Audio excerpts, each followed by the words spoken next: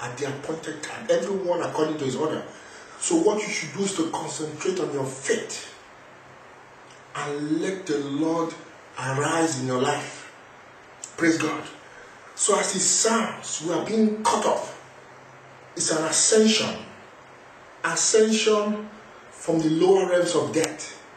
Ascension from a lower consciousness, a material consciousness. Consciousness of ourselves as beings, lower beings apart from God. It's an ascension back into that consciousness we lost in Adam, in the transgression of Adam. And like I've explained, that consciousness is I and the Father are one. Are being caught up to meet the Lord in the clouds, to be with the Lord forever. It's not a physical cloud. Brethren, if you go up there in the sky and touch and look for those clouds, you will not find the Lord there. These are spiritual events that occur. Amen. Hallelujah. Every child of God has to, you know, you know, to go back to glory, there has to be an ascension. We must all ascend to meet the Lord in the air. This should be the hope of our calling. This should be what we wait for day and night. Amen. This is what we should hope for, praying day and night, waiting day and night. Hallelujah. That we experience this ascension, this resurrection, this lifting up. Hallelujah. No wonder Paul will say, Father, I pray, brethren. He was always that I may be found in him. I've left all things that I may be found in Christ. That I may be a partaker of the resurrection from the dead. That I may partake of the power of the resurrection. Oh, hallelujah. That I may taste of it. Oh, hallelujah. Because when you are in Him, oh, hallelujah, you live in the abundance of God's blessings. Oh, hallelujah. You live in a realm where the causes of this world fail to exist. A realm of perfection. A realm of completeness. Oh, hallelujah. God is righteous. Hallelujah. I just pray God will give us this revelation of what He's saying in this hour. Hallelujah. That our inheritance is in Christ Jesus, who is one with God. That our inheritance is in reality is in God. Hallelujah. Everything that is the Father's He has given to us who are who forsake the vanities of our lives in this earth to unite with Him. Hallelujah. Wherever you see clouds in the Bible, generally speaking, clouds talk about the glory of God. Amen. It talks about the glory of God. And you know, you know, that which we inherit in Christ Jesus is the glory of God. For all have sinned and fallen short of the glory of God. You know, but in Christ Jesus, this is reversed. Hallelujah. We have to seek that glory which is from above. Jesus Christ himself descended from heaven.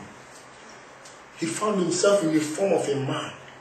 He tested the limitedness of man.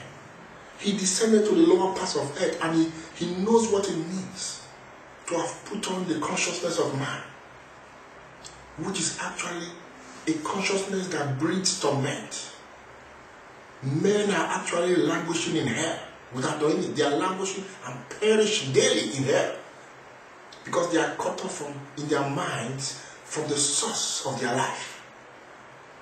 But Jesus Christ says, Father, glorify me. Glorify me with the glory I had with you before this world was. Father, glorify me with the glory I had with you before this world was.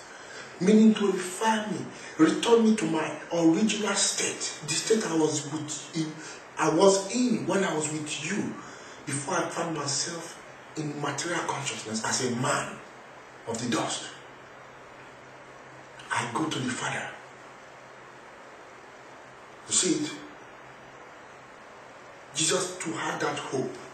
And we who have that hope have to follow that same path of Jesus. That is why after the ministry of Jesus, the Bible says he was received up into a cloud.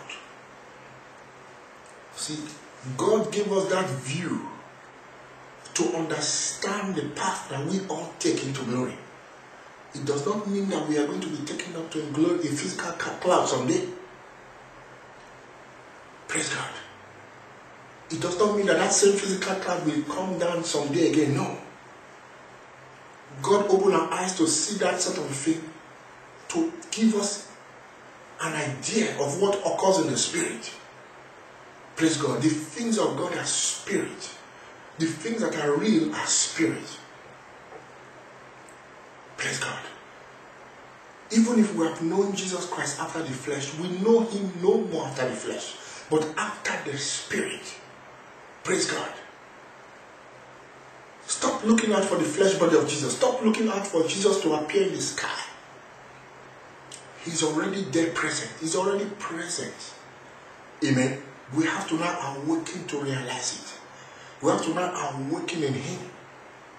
Ascend from our beds in hell and arise to meet the Lord in the air. Unite with Him in that cloud, in that glory cloud. Praise God. Hallelujah. Amen. Now you notice that whenever God manifested Himself in the past, the Bible says He never, you know, you know, always records that He appears normally with clouds. Clouds. Praise God. We're going to look at certain instances here. You will see that wherever these clouds are, God is always present. And whenever God is present, these clouds are always present. You see, God actually is spirit, and God does not. You see, those those these scenes we're about to express uh, or we're about to talk about here are simply allegories for us to understand. Bear in mind that the invisible things of God are being understood today by the things that are seen. That is why Jesus Christ will normally speak in parables.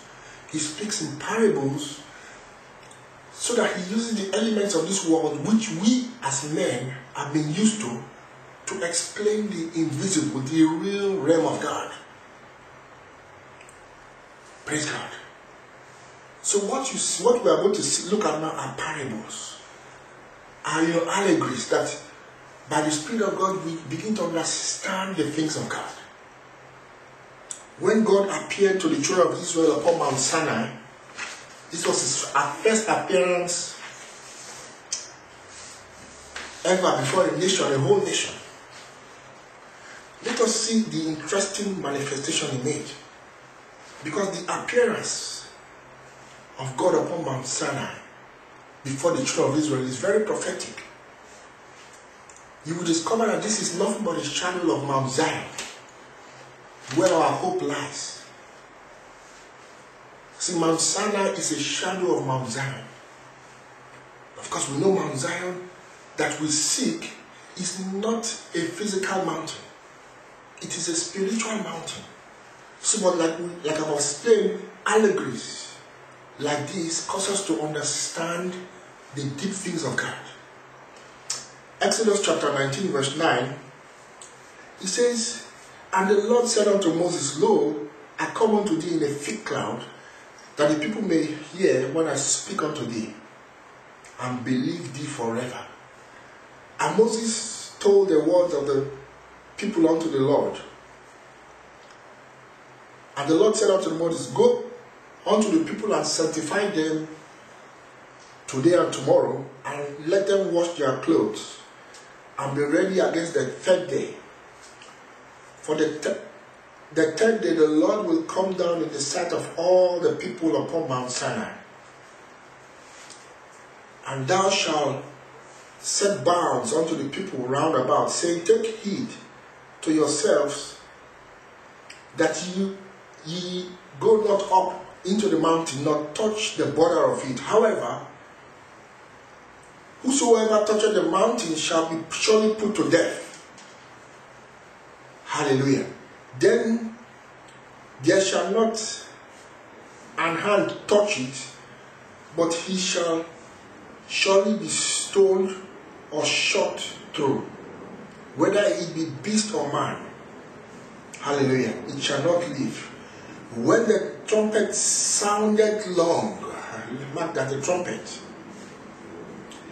they shall come up, up to the mount. And Moses went down from the mount unto the